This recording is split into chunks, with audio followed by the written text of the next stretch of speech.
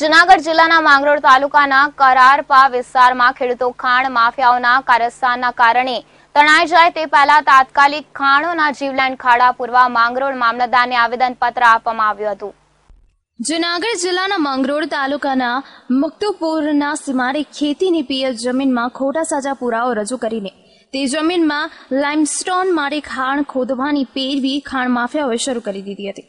જે બાબતે વહીવટી તંત્રને અનેક અરજીઓ અને ફરિયાદો કરવા છતાં ખેડૂતોને થતી નુકસાની બાબતે તંત્રએ કોઈ સકારાત્મક વલણ ન અપનાવતા આખરે ખેડૂતોને ગુજરાત હાઈકોર્ટમાં કેસ દાખલ કરવો પડ્યો હતો.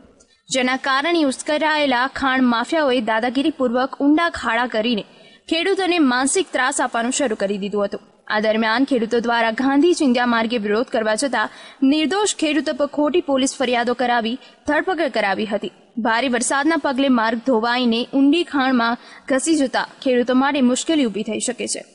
જેના કારણે રસ્તા પર મહાકાય ઊંડો ખાડો પડી ગયો છે અને આમ ઘણા લોકોના જીવ પણ આ રસ્તા પર જાય તેવી સંભાવના છે. ત્યારે તાત્કાલિક ધોરણે ખાણોના જીવલેણ ખાડા પૂરવા ખેડૂતોએ માંગરોળ મામલતદારને આવેદનપત્ર આપ્યું હતું.